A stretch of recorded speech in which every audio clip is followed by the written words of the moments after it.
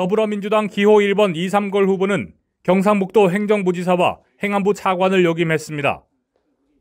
이 후보는 삼거리 철통 약속이라는 제목의 공약을 내걸고 안동 예천 간 교통 활성화와 농민 중심의 정책 강화를 공약으로 내세우고 있습니다.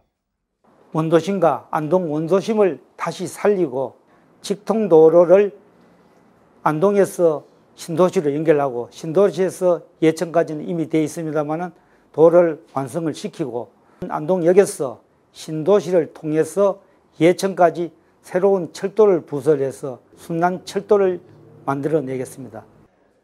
미래통합당 기호 2번 김영동 후보는 정치신인으로 중앙법률원 대표 변호사를 역임했습니다. 김 후보는 안동 예천 상권 활성화에 세 가지 방안을 제시했습니다.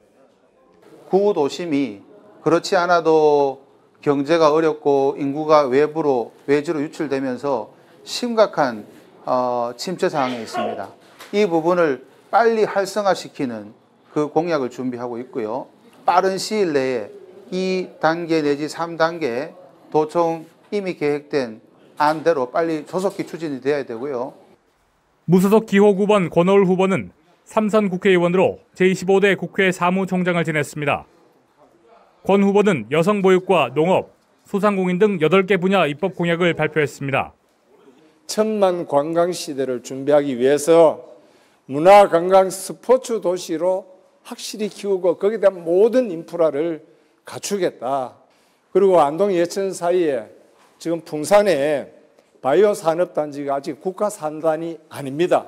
제가 재임 4년 동안에 국가 산업 단지로 격상시켜서 무소속 기호 10번 권택기 후보는 서울 광진 갑선거구 제18대 국회의원과 4대 특임 장관실 차관을 역임했습니다.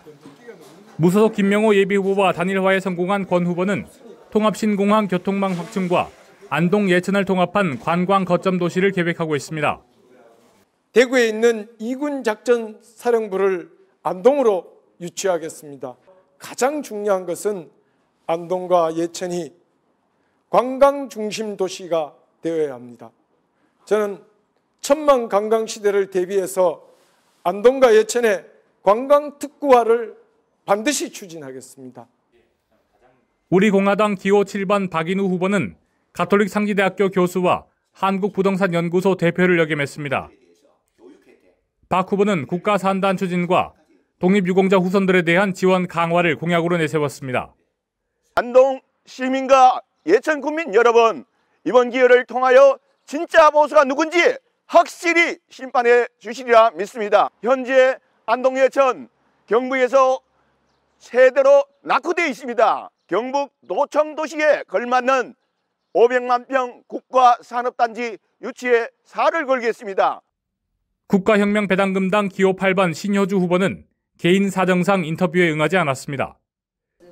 최근 권영세 안동시장의 민주당 입당 의사로 보수 진영의 반발이 거센 가운데 일부 보수층들의 선택이 어디로 향할지에 관심이 모아지고 있습니다. 헬로티비 뉴스 전명주입니다.